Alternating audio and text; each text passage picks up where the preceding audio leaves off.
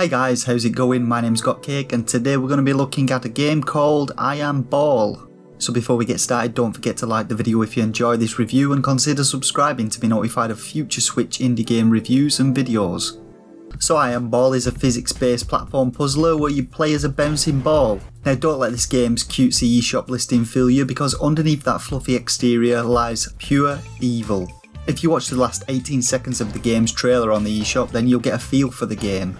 This game is hard as fuck. It's like the Dark Souls of bouncing ball games. The game begins innocently enough, taking you through the tutorial. You jump over a couple of spike pits and get used to the bouncy physics of the ball, and it gently lulls you into a false sense of security. You begin to think, oh it's not too bad as you successfully make your way to the Elder Village. Once here you make your way up to the top of the village and you encounter your first real challenge. And it's at this point shit gets real and you're struck with the realisation that everything you thought you knew about the game was wrong. Now I will confess that I've not actually finished the game yet, and so far I've explored about 5 areas, but I think I'm far enough in that I can provide you enough of a review for you to get a feel of the game and decide whether it's for you or not. The first few lines in the game's eShop description read, I am ball is a challenge, and they're not wrong. The game begins with a bit of an intro about a black meteorite hitting Earth and corrupting it. Elder Shamans then tried to summon an ancestral spirit to protect the land, but it blows up in the face and all that is left is you, a bouncing red ball. Beyond that, there's no explanation as to what is happening in the game, but along the way you'll meet different characters, each providing snippets of dialogue to flesh out the world a little. As you explore, you'll follow different paths, many of which will currently lead to dead ends, but this is where I Am Ball takes on some Metroidvania like gameplay elements. You'll eventually work your way through the only currently accessible area and come across your first new ball type, the rubber ball.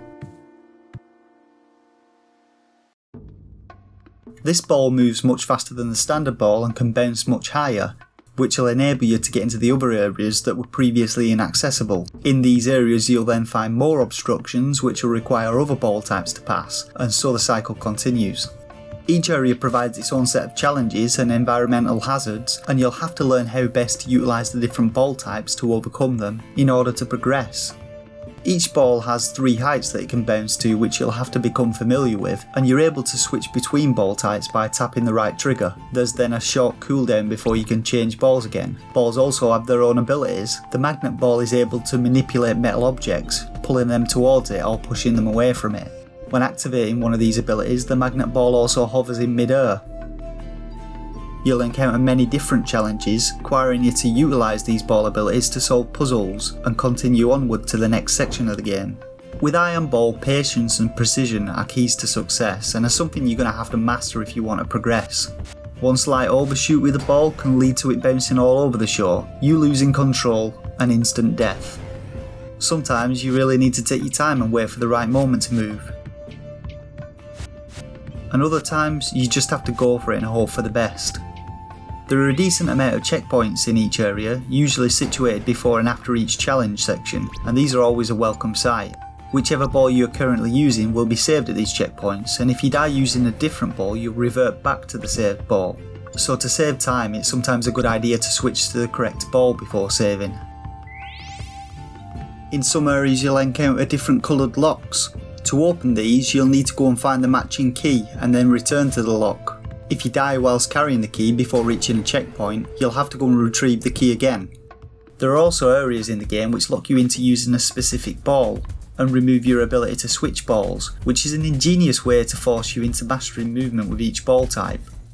As you play the game, you'll feel many, many moments of pure rage, and wonder how it is possible to hate a bouncing ball so much but as you conquer each challenge the game throws at you, the rage will subside and give way to pure exultation at your triumphs. In my opinion, this is what makes the game great. Yes, it's very challenging, yes, initially some of the sections may feel impossible, but like many other games which punish you for making the slightest mistake, it's this punishment which spurs you on.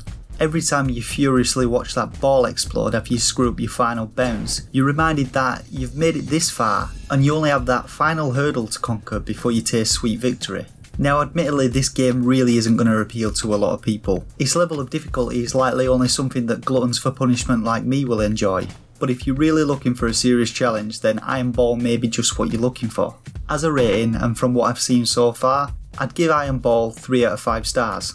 It's a solid puzzle platformer, and the only thing from keeping it being rated higher is its rage factor and its likelihood of appealing to only a small audience. It also wouldn't surprise me if this game was taken on by masochistic speedrunners and featured at an AGDQ sometime in the near future. You can get the game on the Nintendo eShop for a price of £4.49, and in my opinion, it's well worth that price. Now I'm off to go and get angry some more, but if you like this review, please give that like button a stab, and while you're at it, consider smashing that subscribe button to be notified of future reviews and videos. For now though, thank you all for watching, and until next time, game on.